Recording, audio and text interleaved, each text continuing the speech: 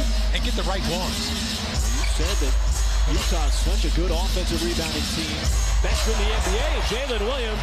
Check that, that is Aaron Wiggins. His first shot of the game. That was a nice little dime he dropped. And Horton Tucker rainbows one in from the outside. He is a veteran. He can get going sometimes. Had some good numbers there as well. And the Donovan Mitchell trade as J-Dub splashes one home straight away.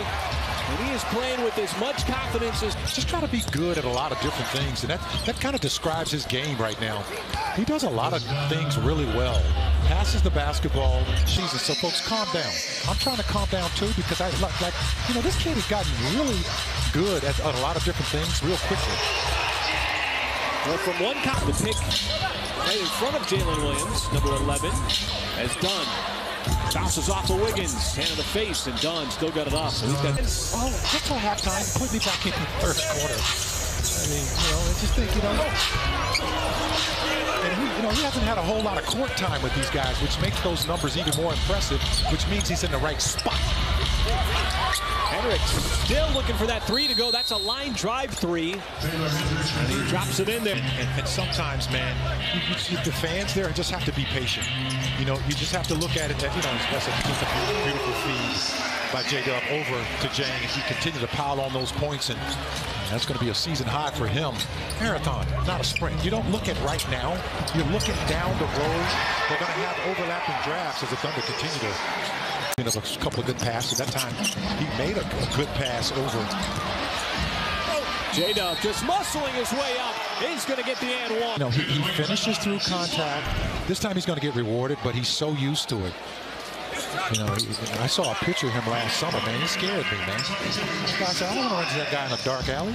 He looked all buff, man. I said, no, that's not J-Dub. You can see why he's playing through that contact because he just, he's got that body, man. He's got an NBA-ready body. And another beautiful distribution from Jalen Williams, who's just seeing the floor so well. The second-year player, that time finding Cason Wallace, the rookie Thunder were able to get some tremendous leverage a couple of nights ago against the Warriors.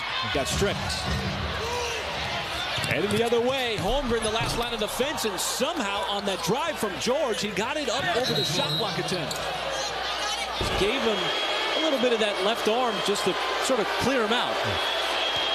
Seemed like both players kind of initiated there's another beautiful pass. Josh Giddey freshly inserted into the game. Another backdoor cut. This time it's Cason Wallace.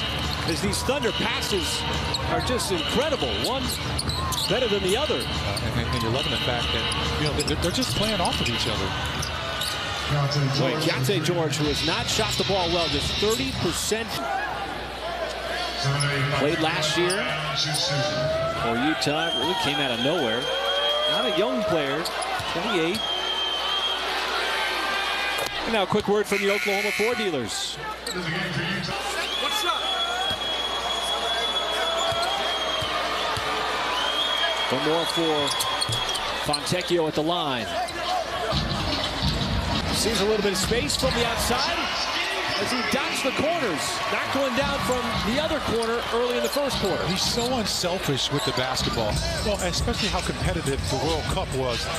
George once again goes right at Chet Holmgren, and again he finishes. Jazz fans are going to enjoy their 16th because they scout you one way, but there's so many options on one play. It's been Wallace defending Clarkson this time with Jalen Williams, and Clarkson had the step. But leaned right into it. And Clarkson has been very quiet in this first half, just